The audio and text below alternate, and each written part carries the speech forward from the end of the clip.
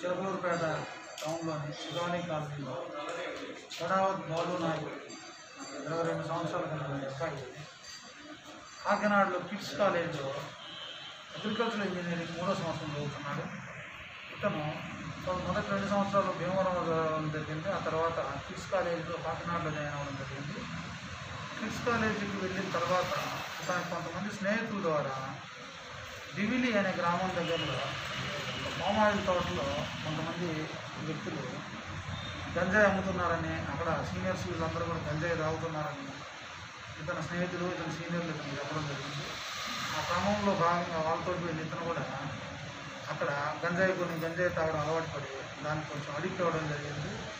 ఈ క్రమంలో లాక్డౌన్ తర్వాత ఇతను కాకినాడ నుంచి చిలకలూరుపేట రావడం జరిగింది.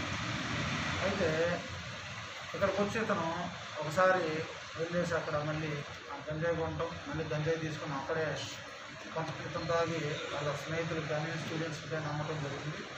మరలా ఈ నెల రెండో ఈ నెల రెండో తారీఖున ఇక్కడి నుంచి వెళ్ళి ఇతని స్నేహితులతో పాటుగా కాకినాడలో వాళ్ళని కలిసిన తర్వాత స్నేహితులకి చింత చింతపల్లి వెళ్ళొద్దామని చెప్పి లంబసింగి వెళ్ళొద్దామని చెప్పి అక్కడ వరకు వెళ్ళి అక్కడ ఒకటిన్నర కిలో గంజాయి కొనుక్కోవడం జరిగింది. కొనుక్కోవడం దగ్గర.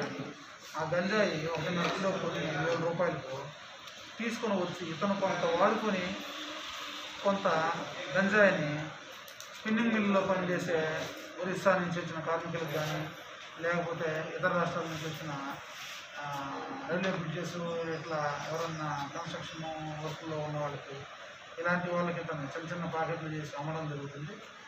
ఈ క్రమంలో భాగంగా నిన్న మాకు రాబడిన సమాచారం మేరకు ఇతను వద్ద గంజాయి ఉందని రాబడిన సమాచారం మేరకు ఇతన్ని నిన్న చంద్రబాబు టౌన్లో పట్టుకోవడం జరిగింది. ఇతని దగ్గర నుంచి సుమారు ఎనిమిది వందల గ్రాముల గంజాయి స్వాధీనపరచుకోవడం జరిగింది.